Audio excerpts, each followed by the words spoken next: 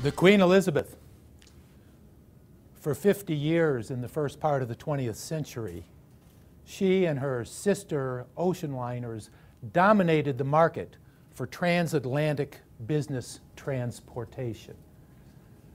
Oh, by the time World War II had ended, it had become possible to fly commercially across the ocean, but why would anyone want to endure 24 to 36 hours of cramped, noisy discomfort when traveling on the Queen Elizabeth and similar ocean liners?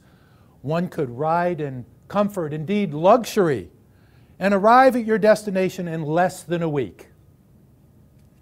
No, any ocean liner executive would have told you as late as the mid 1950s that businessmen, and of course in those days they were mostly businessmen, uh, would never give up the comfort and uh, uh, luxury of uh, traveling on ocean liners.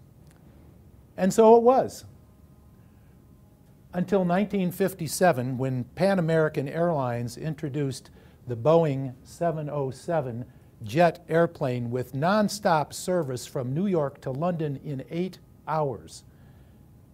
And in six months' time, the ocean passenger transportation industry lost 90% of its business.